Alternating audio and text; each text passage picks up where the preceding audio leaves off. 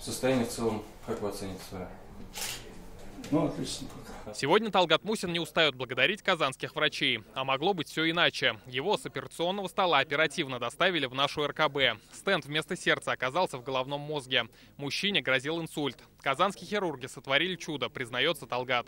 По интонации, по разговорам докторов понятно было, что идет операция хорошо.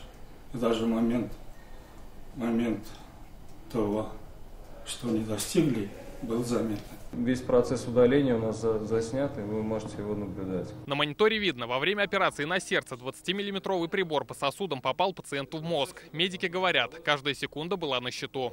Достаточно быстро нужно было убрать этот стенд, потому что если бы мы этого не сделали, во-первых, он мог э, в этих сосудах уже зафиксироваться, и уже обычными методиками, эндоваскулярными методиками, его было бы опа еще опаснее убирать.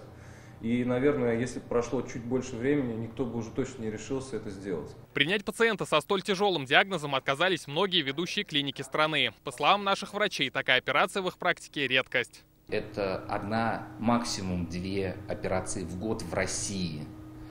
А, честно говоря, я ну, за свой десятилетний опыт работы слышал о таких операциях ну, 3-4 раза.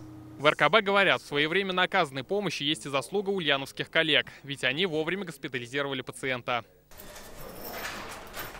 Теперь Талгат Мусин собирается домой в Димитровград и строит планы на 2019 год. И до конца зимы мечтает встать на лыжи.